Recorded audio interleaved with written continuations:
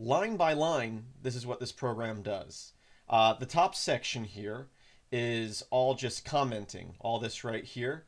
You can tell it's been commented by using the forward slash asterisk, and then it goes all the way down to the asterisk uh, forward slash. That signifies all this is commenting.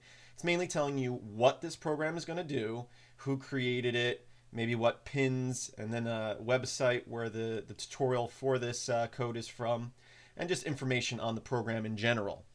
Um, and if you look quickly, the first line here turns an LED on for one second, then off for one second repeatedly. And, uh, and here it tells you the LED is connected to digital pin 13. Um, here, and that's just the comments. So we come down here and we can start seeing the, the code uh, right here. Uh, we're uh, creating a variable. So int uh, for creating a variable. We're going to do LED pin 1. That's the name of our variable. You can technically uh, name it whatever you want. Uh, and we're going to set that equal to 13. and then we're going to do this void setup is a function and this will run once when the uh, computer or when the program starts up. And inside this function, we're setting uh, the pin equal to LED pin, which is 13, and that's our output. So we're going to use that as an output. Pin 13 is our output. And then the rest of the code, this is the rest of the code. Uh, void loop, this is going to be our main function. It's going to loop forever until we press the reset button on the Arduino or pull the power out of it. And basically what it's doing, it's got four commands here.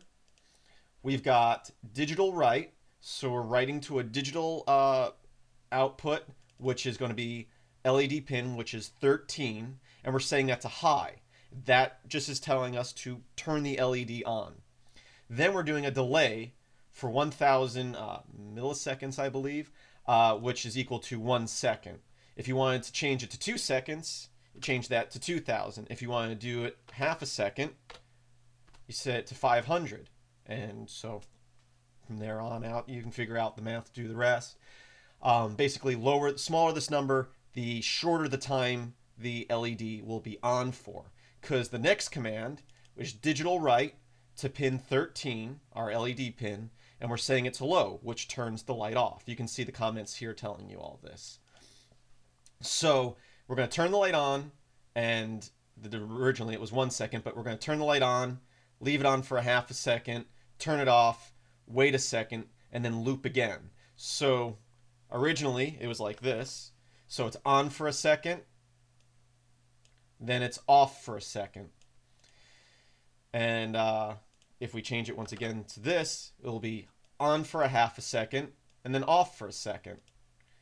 If we want to do it like this, we can do it on for a second, or sorry, on for a half a second, off for a half a second.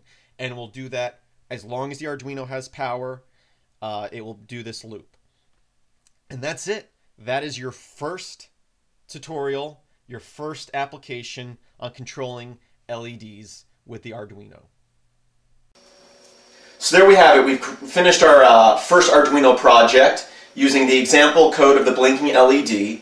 I know it wasn't that exciting, but we got to start somewhere. Now, um, like I said, we're going to do a few more tutorials that are going to be slow like this. We're going to start working with LEDs, modify that sample code we had a little bit, and maybe do some cool things with LEDs. then we'll start getting into um, motors, and we'll start getting into using your computer to send and receive information uh, to the Arduino board so you can control things like the LEDs and uh, motors from your computer. So I hope you stick with me, and keep watching these tutorials, I put them out, and I hope you find them useful and, and uh, give the open source Arduino a try. Have a great day and visit filmsbykris.com for more video tutorials like this.